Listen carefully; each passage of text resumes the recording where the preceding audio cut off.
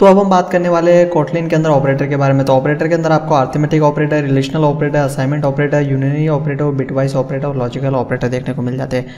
तो ये क्या है ऑपरेटर जैसे आप आर्थमेटिक के अंदर एडिशन वगैरह करते हो माइनस सब्सट्रैक्शन और रिमाइंडर फाइंड करने के लिए हम आर्थमेटिक ऑपरेटर को यूज़ करते हैं। रिलेशन के ऑपरेटर के अंदर रिलेशनल फाइंड करने के लिए यूज़ किया जाता है। तो चलो सबको हम एक एक एग्ज़ाम्पल के थ्रू समझते हैं तो जिससे आपको और भी बेहतर तरीके से समझ में आएगा। तो सबसे पहला हम देख लेते हैं आर्थमेटिक ऑपरेटर के बारे में। तो इधर आप देख सकते हो वेर ए नाम से मैं टेन डिक्लेयर कर रहा हूँ और वेर बी नाम से मैं फाइव डिक्लेयर कर रहा हूँ। तो इसका मैं एडिशन करा रहा हूँ माइनस करा रहा हूँ मल्टीप्लीकेशन डिवीज़न और जो लास्ट में इसका जो रिमाइंडर रहेगा, वो फाइंड करके देगा। तो इसे कहते हैं आर्थमेटिक ऑपरेटर इस कोड को मैं करता हूँ एग्जीक्यूट तो आप देख सकते हो टेन फाइव फिफ्टी टू और ज़ीरो जो कि हमारा सक्सेसफुली आउटपुट में आ गया। तो ये सारे जो साइंस यूज़ कर रहे हैं, उसे हम आर्थमेटिक ऑपरेटर किया जाता है। अब बात करते हैं रिलेशनल ऑपरेटर के बारे में। तो रिलेशनल ऑपरेटर जैसे कि greater than less than greater than equal to less than equal to equal to equal to and not equal to जो कि रिलेशनल ऑपरेटर के अंदर आते हैं। तो इसके लिए मैं जो कि एक एग्ज़ाम्पल ले लेता हूँ। तो इधर आप देख सकते हो well A equal to five मैंने स्टोर किया वेल बी इक्वल टू मैंने टेन स्टोर किया हुआ है। इसके बाद में आप देख सकते हो वेल मैक्स नाम का मैंने एक वेरिएबल क्रिएट किया। अभी इधर मैंने वेल क्यों यूज़ किया इसका वैल्यू चेंज नहीं होएगा फिक्स वैल्यू रहेगा। और आपको कॉटलिन के अंदर एक बेनिफिट मिल जाता है, जैसे कि वेल मैक्स नाम का मैंने एक वेरिएबल क्रिएट किया तो इसके अंदर जो भी आउटपुट रहेगा, जो भी रहेगा, वो इस मैक्स के अंदर स्टोर हो जाएगा। और इधर बी के इधर हमारा इरर आ रहा है, इसे मैं कर देता हूँ कमेंट हाँ अब हमारा इरर चलेगा।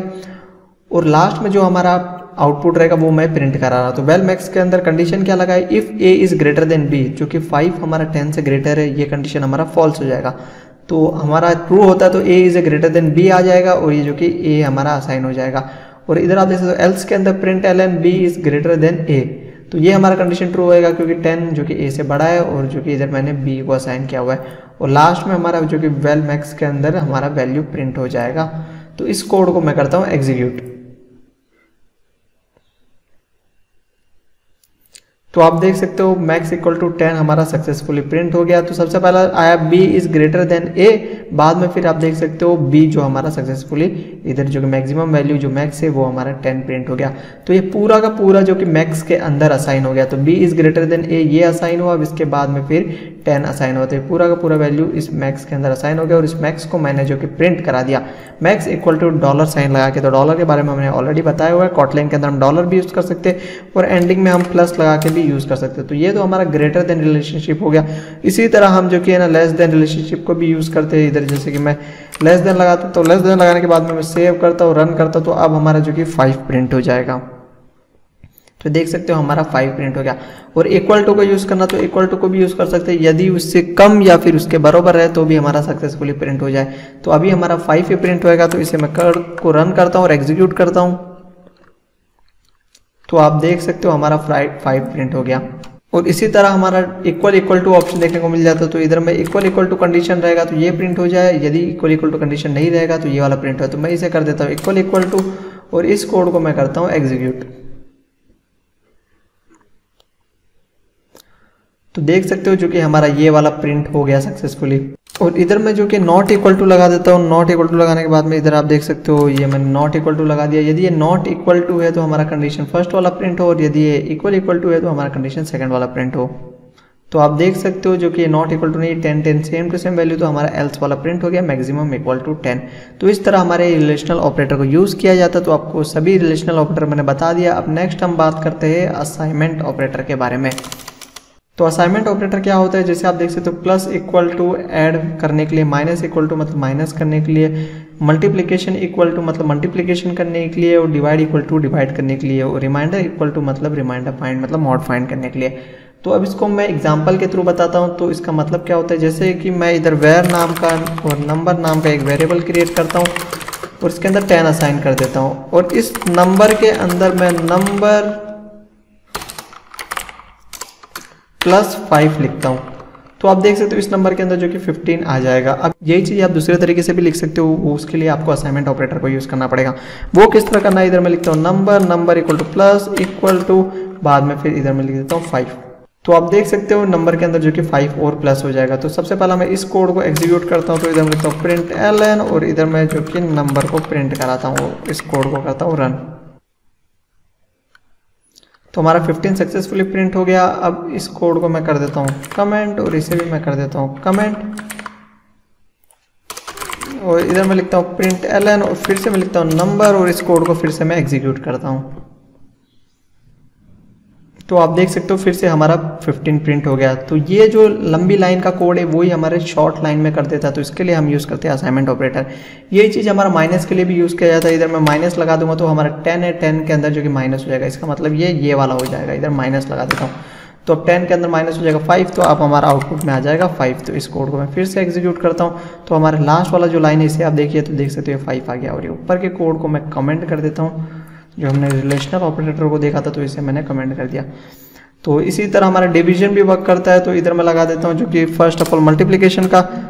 तो ये मैंने मल्टीप्लीकेशन लगा दिया। अब इस कोड को मैं रन करता हूँ तो हमारा ये क्या होगा मल्टीप्लीकेशन के अंदर आंसर मैं पहले बता देता हूँ, बाद में एग्जीक्यूट करता तो नंबर के अंदर टेन है इंटू फाइव फिफ्टी तो इधर भी ये सेम इसी तरह वर्क करेगा। इस कोड को मैं करता हूँ एग्जीक्यूट तो ये हमारा 50 आ, आ गया। तो इसी तरह डिवाइड को भी यूज़ कर सकते हो। तो इधर मैं डिवाइड लगा दूँगा तो हमारा जो कि डिवाइड हो जाएगा तो टेन डिवाइड बाई फाइव होएगा। तो हमारा आउटपुट में टू आ जाएगा।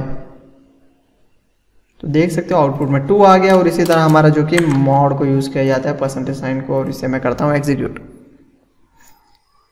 तो हमारा रिमाइंडर जो कि ज़ीरो है तो ज़ीरो आ गया। तो इस तरह ये जो कि असाइनमेंट ऑपरेटर को यूज़ किया जाता है। अब नेक्स्ट हम बात करते हैं यूनिनरी ऑपरेटर के बारे में। तो यूनिनरी ऑपरेटर क्या होता है? जो कि इंक्रीमेंट डिक्रीमेंट किया जाता है, उसे कहते हैं यूनिनरी ऑपरेटर तो ये चीज़ मैं आपको दिखा देता हूँ। तो ये सारे साइन यूनिनरी ऑपरेटर के अंदर आते हैं। Plus A minus A plus plus A minus minus A और नॉट इक्वल टू ए तो इसे कहते हैं unary plus unary minus increment by one decrement by one not और तो इसका यूनिनरी इसका मतलब क्या होता है? जैसे कि फॉर एग्जांपल आपने नेगेटिव वैल्यू दिया हुआ है, उसे आपको पॉजिटिव करना है तो आपको प्लस लगा देना तो वो पॉजिटिव हो जाएगा। और आपने पॉजिटिव वैल्यू दिया हुआ उससे आपको नेगेटिव में कन्वर्ट करना तो आपको माइनस लगा देना तो वो माइनस में हो जाएगा। और इधर जो कि डायरेक्ट इंक्रीमेंट करना है फॉर एग्जांपल आपको वन इंक्रीमेंट करना है तो आपने कोई टाइमर लगाया हुआ है, फिर कुछ भी चीज़ लगाया हुआ है तो उसको आप one by one one one one increment करना चाहिए, कुछ भी टास्क कंप्लीट होने पे। तो तब जाके हम ये इंक्रीमेंट डिक्रीमेंट को यूज़ करते हैं। तो इसे मैं आपको एग्ज़ाम्पल के थ्रू समझाता हूँ तो बहुत ही सिंपल है ये भी।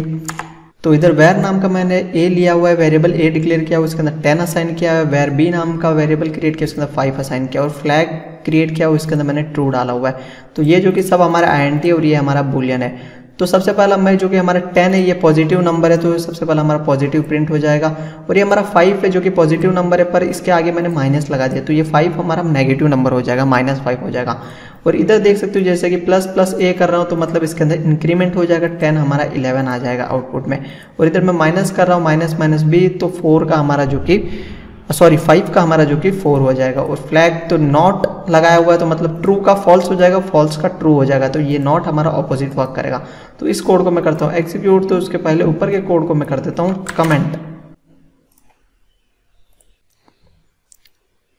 तो देख सकते हो ten minus five, eleven, four और फॉल्स, जो कि हमने ट्रू लिया था, फॉल्स। तो इस तरह ये ऑपरेटर वर्क करते हैं। अब काफ़ी लोग को लगता रहेगा कि इधर ये इंक्रीमेंट आगे लगाया हुआ, ये इंक्रीमेंट पीछे लगाऊँगा तो क्या आउटपुट आएगा? तो सबसे पहला ए के अंदर फाइंड करेगा टेन है तो टेन हमारा प्रिंट हो जाएगा और बाद में फिर प्लस प्लस है तो बाद में इंक्रीमेंट होगा पर आउटपुट में हमारा इधर टेन ही आएगा। तो अभी फ़िलहाल इलेवन आ रहा है तो इस कोड को मैं करता हूँ एग्जीक्यूट अभी टेन आ रहा है और उसके बाद में इंक्रीमेंट हो रहा है, वो भी चीज़ मैं आपको करके दिखा दूँगा।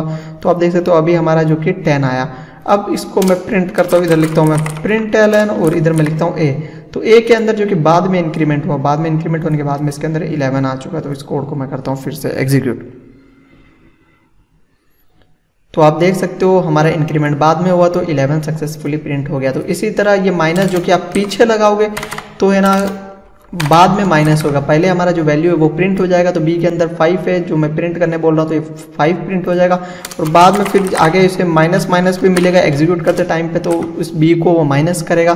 मतलब फाइव रहेगा फाइव के अंदर, जो कि फोर डालेगा, और इधर जो कि मैं बी को प्रिंट कराता हूँ। तो इसे मैं करता हूँ एग्जीक्यूट तो देख सकते हो हमारा जो कि फोर बाद में प्रिंट हो गया। पहले जो कि सबसे पहला फाइव ही प्रिंट हुआ, बाद में माइनस हुआ, बाद में फोर तो ये आगे भी प्लस प्लस यूज़ किया जाता है और लास्ट पीछे भी प्लस प्लस यूज़ किया जाता है। तो दो टाइप से इंक्रीमेंट आपको देखने को मिलते हैं और दो टाइप से डिक्रीमेंट आपको देखने को मिलते हैं। तो आप इसे प्रैक्टिस करोगे तो और भी बेहतर तरीके से पता चलेगा। जितनी भी चीज़ें मैं बता रहा हूँ सबकी सब आप प्रैक्टिस कीजिए। प्रैक्टिस करने से आपको सब चीज़ें पता चलेगी।